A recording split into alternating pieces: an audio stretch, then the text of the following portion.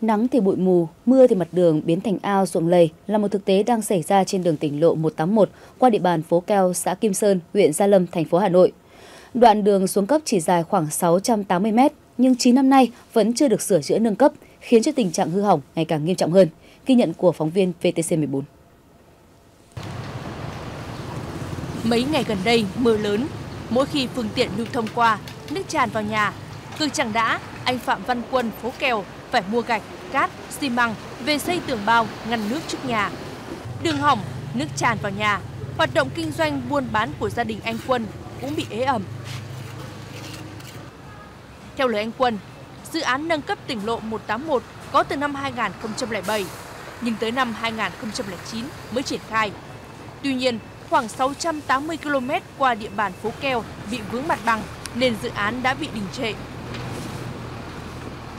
dân đi đền bù là đồng ý người thì bảo là đồng ý à, 8 triệu người thì bảo là bây giờ 8 triệu thì không ờ, đất rẻ quá. Nhưng mà đường bây giờ cứ như này tràn vào nhà nó rất là vất vả mà người đi lại cũng khổ. Buôn bán thì cũng không không không có khách. Thế này là rất là bất lợi. Tuyến đường xuống cấp khiến phương tiện lưu thông qua lại gặp khá nhiều khó khăn có những vị trí mặt đường bị hỏng lên tới 20 đến 30 mét vuông. Thậm chí có những phương tiện lưu thông qua bị ngập nước mất 1 phần 2 bánh xe.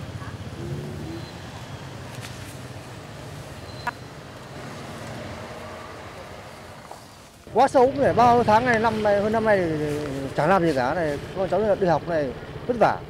Đây cháu đi học bây giờ có đi khó đường còn khó. Để xem... Sao nó lại xảy ra tình trạng này? Xe công đi nhiều quá còn xe to chạy còn xe công chuối vé thứ ở đi này hết rất nhiều sự vụ tai nạn xảy ra chết người cũng có Đấy thì mà cũng kêu rất nhiều rồi nhưng mà cũng không hiểu làm sao mà cấp trên là có nghe ngóng gì không. Ví dụ như là vừa mới tối hôm kia là cầu đường người ta có làm nhưng mà đến hôm bây giờ lại tình trạng là như thế này.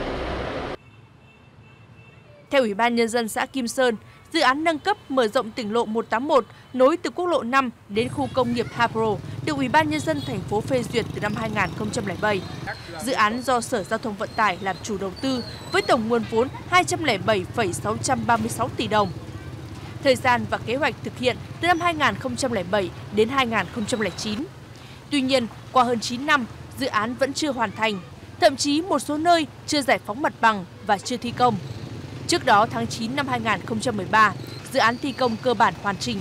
Tuy nhiên, có một số hạng mục phải dừng lại vì không được bố trí vốn, nên dẫn đến nhiều đoạn thi công giang dở. Trong này có một cái chợ keo. Chợ keo thì ờ, cái uh, giao thông khó khăn thì cái lượng người đi cũng sẽ là ảnh hưởng cũng tương đối lớn và cái thứ hai là nó gây ra là cái nguy hiểm về giao thông ở chỗ cái riêng cái cung đường này là có nếu các vụ ra giao thông tai nạn giao thông mà chỉ xuất sát rồi là gãy chân gãy tay thì cũng năm bảy vụ Thế còn chết người thì trên cái tuyến này ba ba trường hợp rồi trong vòng 2 năm đây. Còn theo tìm hiểu của VTC14, sở dĩ đoạn đường này thời gian gần đây bị xuống cấp nghiêm trọng, một phần cũng do xe tải né trạm thu phí quốc lộ 5 với tổng số phương tiện lưu thông qua lại hàng ngày lên tới 500 đến 700 lượt. Trong khi đó, hoạt động xử lý vi phạm lại có dấu hiệu buông lỏng và hệ lụy là mặt đường bị xuống cấp, hư hỏng, không kiểm soát như thế này.